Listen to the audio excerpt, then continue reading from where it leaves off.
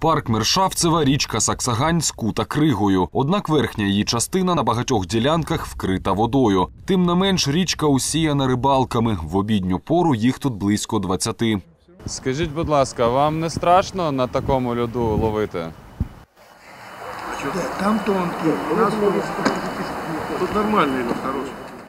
А скільки приблизно сантиметрів? Сантиметров 12-15. А як підходите, ось якщо тут тонка крига?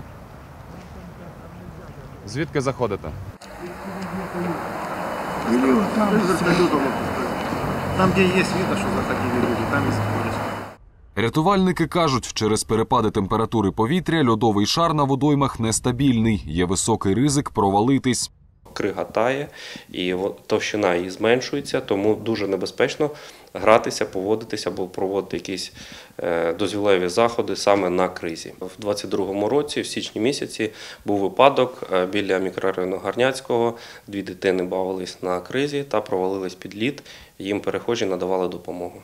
Нагадаємо, цей випадок стався 5 січня. Тоді на допомогу двом дітям, які провалились під лід, прийшов 13-річний школяр Іван Семетовський. Разом із перехожим хлопець витягнув обох з води. Тим, хто став свідком нещастя на кризі, рятувальники рекомендують дотримуватись чіткого механізму дій.